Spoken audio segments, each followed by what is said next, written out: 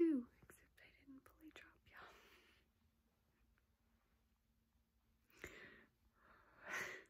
to finish getting ready for bed, I just brushed my teeth and washed my face.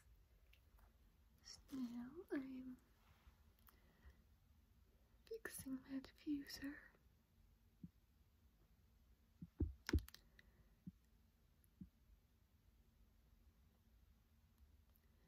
It just me, or does oil come out slower in these bigger bottles? I think it comes out slower.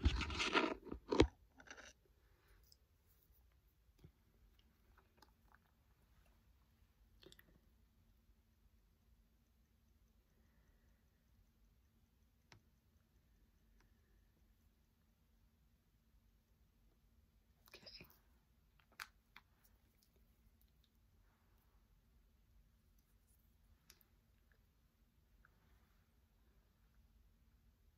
Trying to see exactly how much is left.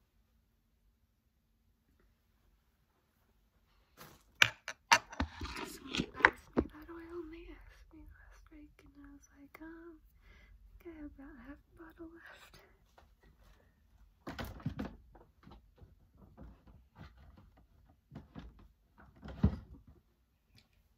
Because they know I use it daily. And I use it daily because I've noticed that when I don't use it, I wake up with an asthma attack. So it's, it's a respiratory blend. It's from the vitamin shop.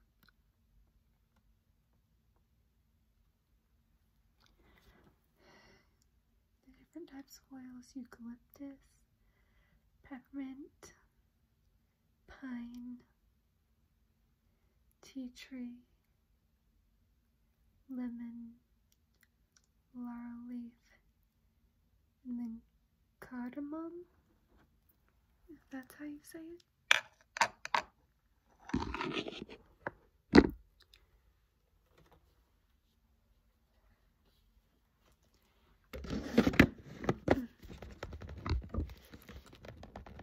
Okay. Oh, Won't quite start yet. I forgot to get the extension for my beads. So I need to go get that.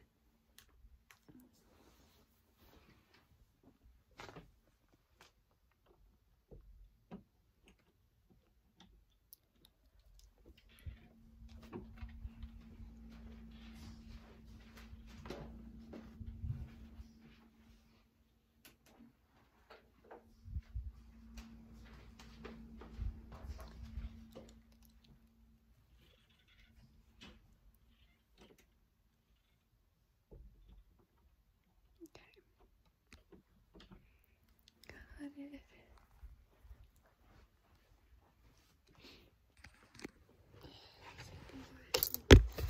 Get my feet already.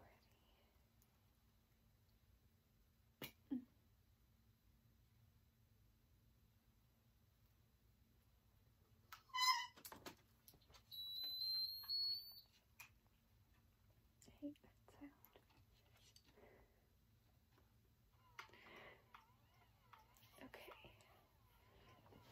I actually made up my bed today. Very proud of myself for that.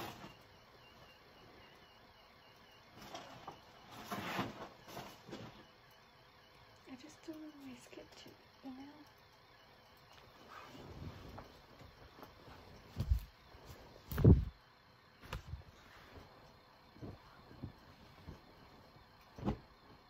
So I actually need to adjust it. It's my my remote. Let's see here.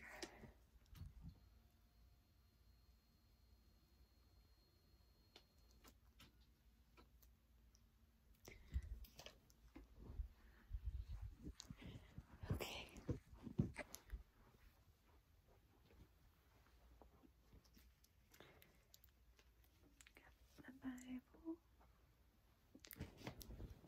Oh.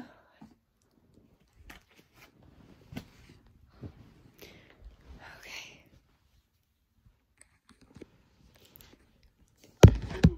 My because I like to to them before I start reading.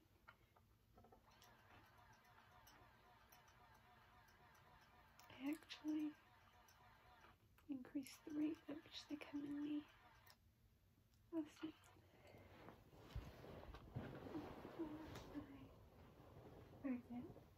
water's over here. I be able to reach it. Once I hook it.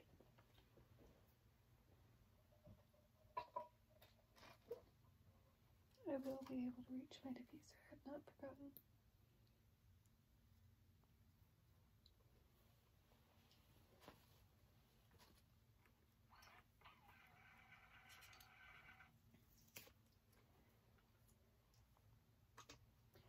Okay. I'm doing my computer because the light.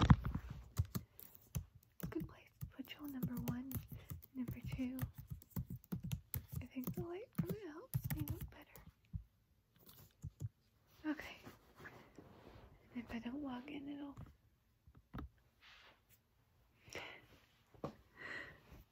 Okay. There we go.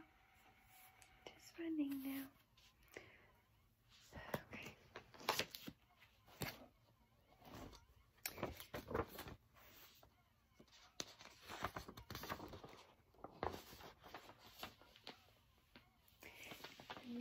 Mission, Matthew 28, verses 16 through 20.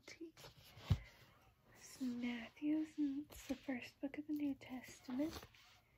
It's one of the Gospels. The four Gospels are Matthew, Mark, Luke, and John. So it is the first Gospel.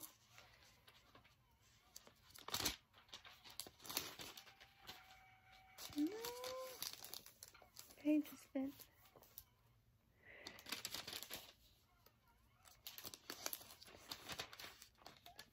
Mm. Oh. It's the last book in So flip to the end of Matthew. I did not know that. Learn something every day. Okay, it's actually the last paragraph. The Great Commission.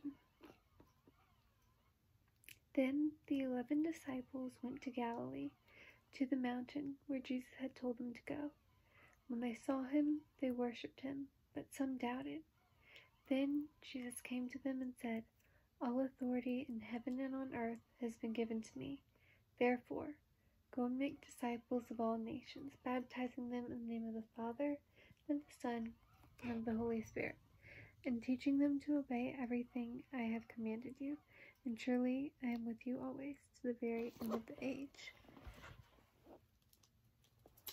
So, some of you may be like Hannah, thought there were 12 disciples.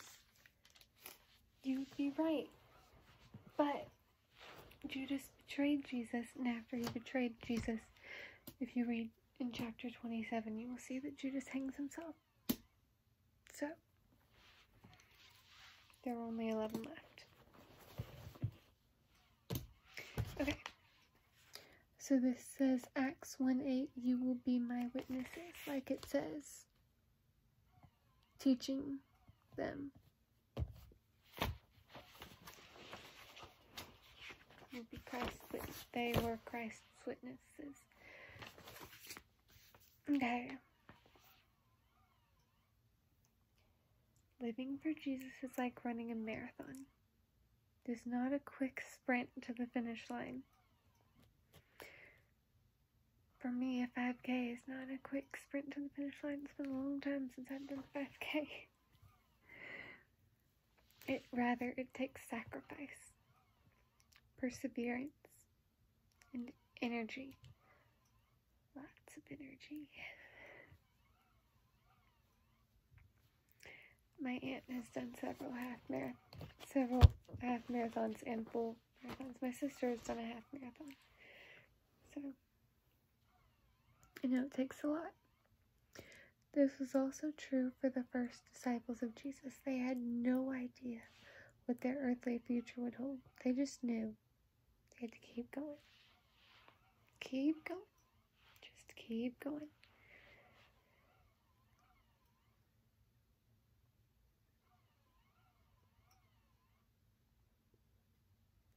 So it's saying one of the things that Matthew points out the disciples worship, worshiped Jesus when they called him, but some still doubted. They saw Jesus, but some still were not fully believing. They still doubted Jesus was really there.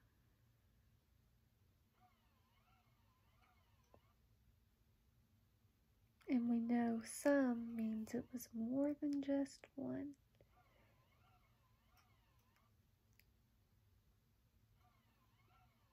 So they were uncertain and hesitant.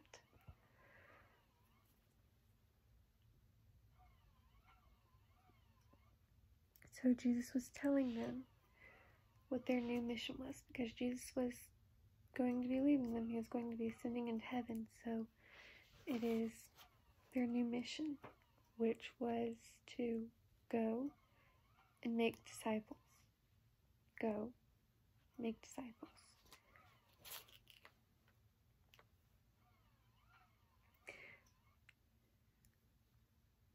In the way Jesus said it, the word go, it's urgent.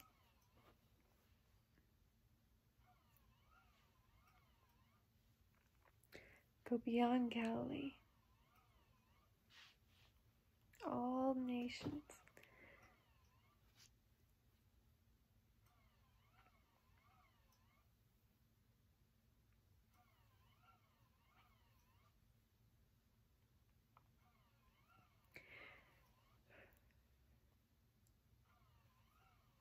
Just knew it would not be easy.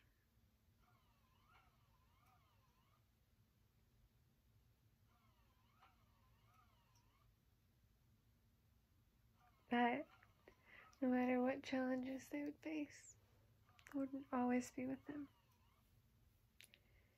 For I am with you always to the end of the age. That's what he says.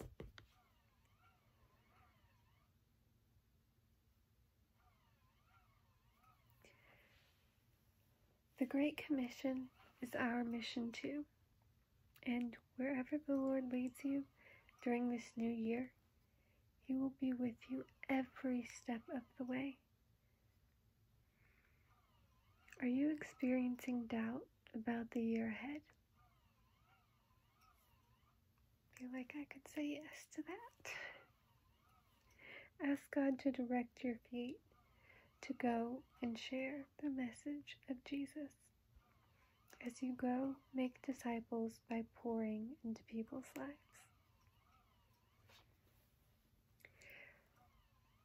The prayer is please strengthen our feeble hearts and quell our fears. Give us courage to live out our faith openly, to proclaim the gospel, and to win others to Christ. One thing I do want to share with y'all faith cannot be forced. I know I shared with y'all, if you haven't seen my video on, I think the title was a God thing. Um, I shared with y'all how I was able to share the gospel with someone, but one thing is faith cannot be forced. And that is one of the big things you have to be careful of. Yes, you should share the gospel with people, but you can't force someone to believe something. It has to be something that they believe sort of on their own. You can help guide them, but forcing them it's not gonna go well. so, I haven't heard from the person. I haven't reached out. I don't know if I'm going to reach out. But I shared the gospel. I planted the seed. And hopefully it'll sprout and grow. I am praying for that person. But we'll see what God does with that. One more thing to share with y'all tonight is My Grace for the Moment by Max Lucado. Mm.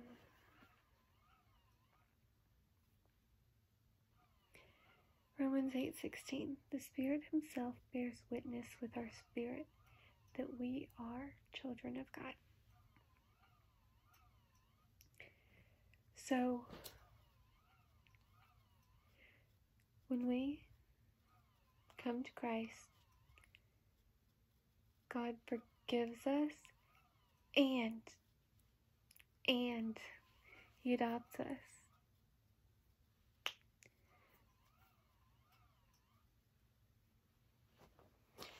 So what happens is you go for the judgment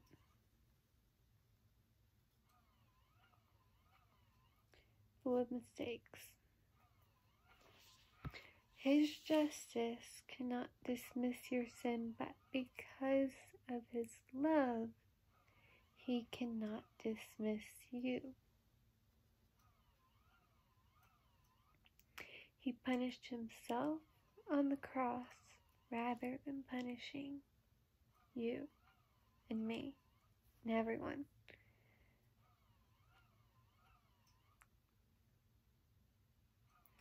God's justice and love are equally honored, and you, God's creation, are forgiven. That sort of ties in with me sharing the gospel with a person. Cannot be forced. So,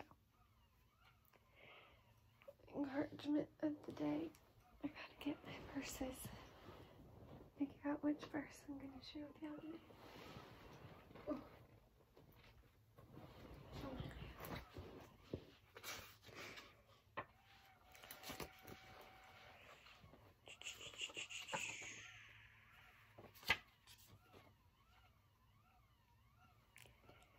Okay, this is a good one. This is Psalm 139, 1 through 3, and 23. O Lord, you have searched me and known me. Know when I sit and when I rise. You perceive my thoughts from afar. You discern my glory.